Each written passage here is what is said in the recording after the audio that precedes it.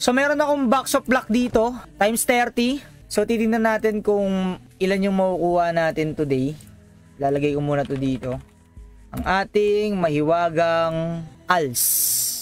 Galing to sa lucky ticket eh. Nagtry ako ng lucky ticket, ganun, lang, ganun pala yung makukuha dito. It's either swerte ka, makakuha ka ng slot extender or ibang mga rare items or box of luck lang. So times 30 na, na box of luck. Tingnan natin kung tayo ay siswertehin. Yes, bagong gupit ako. Actually, no isang araw. Pero tingnan natin kung ilan yung makukuha natin dito. Lahat yun 100M. Tinatamad ako. Sorry, tinamad. Ito muna tayo. Siyempre, kung nakasort na yan, itong pinakababa na to is yung pinaka madami. Tingnan natin.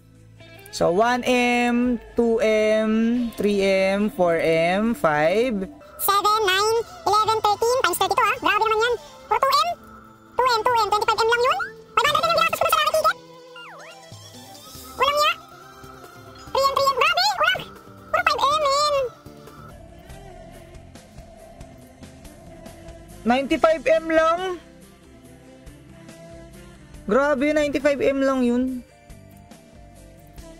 Kakalungkot naman. Mag-sorry ka ba? Sorry ka ba?